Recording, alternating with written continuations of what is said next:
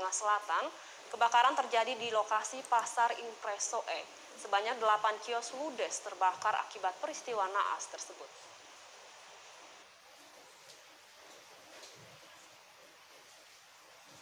Kebakaran kembali terjadi di Pasar Impreso E pada Minggu 20 Februari 2022. Kejadian tersebut menghanguskan delapan kios di lokasi pasar yang mayoritasnya adalah tempat menjahit. Para penjahit mengalami kerugian besar karena semua barang-barang yang ada dalam kios menjahit mereka ludes terbakar api. Seorang penjahit Martel Datualaka mengatakan dirinya berada di rumah saat kebakaran berlangsung. Saat sampai ke lokasi kebakaran, semua barang-barang yang ada dalam kiosnya telah hangus terbakar. Martelda belum bisa memperkirakan total kerugian yang dialaminya. Namun dengan terbakarnya mesin jahit, kain, dan benang, membuat dia kewalahan untuk memulai kembali usahanya.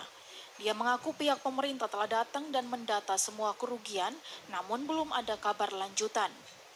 Untuk diketahui, kios-kios yang terbakar ini adalah milik pemerintah daerah TTS yang dikontrakan kepada sejumlah pedagang dan pengusaha kecil.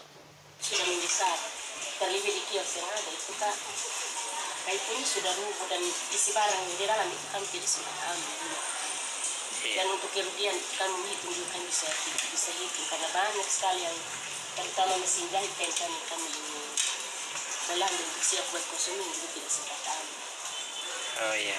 Jadi itu saya akan sampaikan. Dan untuk mau sampaikan terlebih dari yang musibah yang terjadi seperti apa itu saya tidak tahu. Karena waktu itu kami tidak ada di tempat kerja itu pas subuh jadi kami di rumah. Oh iya. jadi kami dapat telepon dari depan kami datang. Sudah ini su, ah, pokoknya di kios kami sudah ini Dari Kabupaten Timur Tengah Selatan, Ambugala Mawuran, TVRI NTT.